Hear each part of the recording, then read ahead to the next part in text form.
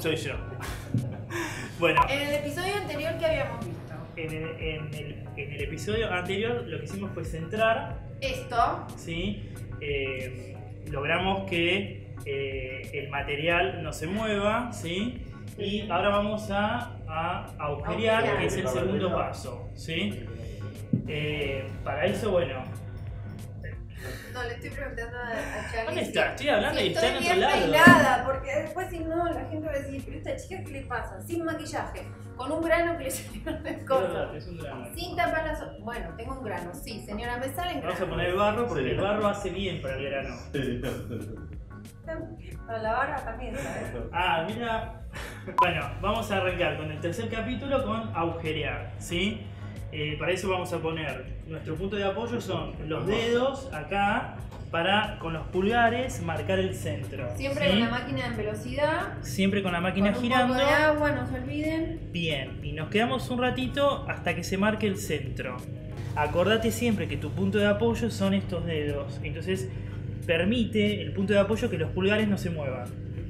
Les agarramos, empezamos a bajar.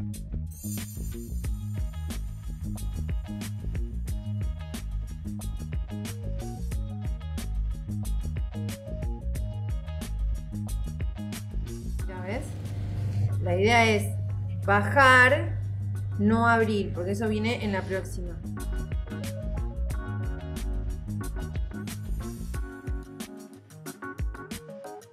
Vamos a medir la distancia que queda del, fondo, porque esa va a ser la distancia de la pieza, digamos, para que tenga su base. me, la maestra Potter. Ahora, con estas herramientas vamos a chequear el grosor que le vamos a dejar fondo. de base. ¿sí? Una Entonces, sortija. Es un entorno frenado. Es como cuando me dice el aceite. t- Tal cual. ah, Bien. Y ahí tiene que tener un, un, centímetro, centímetro. como mínimo. Yo sigo teniendo la- el barro en la Sí. cara, ¿no? Cuando termine la clase Tenemos me voy a hacer la máscara de barro. Bueno, dale, yo te ayudo. No, mentira. Ya terminamos este, este tercer capítulo que fue agujerear. Agujerear. ¿Sí? Eh, y nos vemos el próximo Con- con el paso de abrir. ¿Sí? ¿Qué sería? Sería.